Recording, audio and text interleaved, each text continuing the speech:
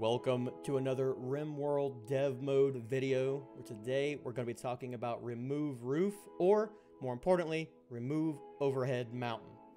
If you're looking at the map and you want to see what kind of roof type you have, there's two ways to do it.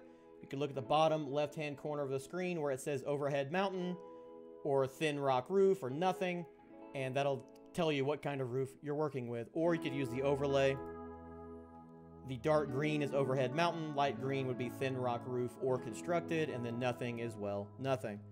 To actually remove the roof itself, all you gotta do is go to the bottom right-hand corner of the screen, open your menu, go to Options, turn on Development Mode, go to the top of your screen, fourth from the left, Debug Actions menu. What you're looking for is Delete Roof. If you don't know where it is or how to find it, in the upper left-hand corner, you can type in Roof. There it is, Delete Roof hover over the area you want to delete, left click, that roof is now gone.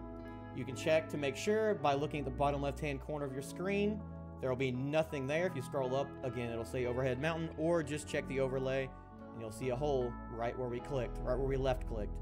If you want to put the roof back, you can go back to your debug actions menu, go to make roof, or again, just type in roof in the upper left hand corner, make roof, left click, it'll fill that in with constructed roof.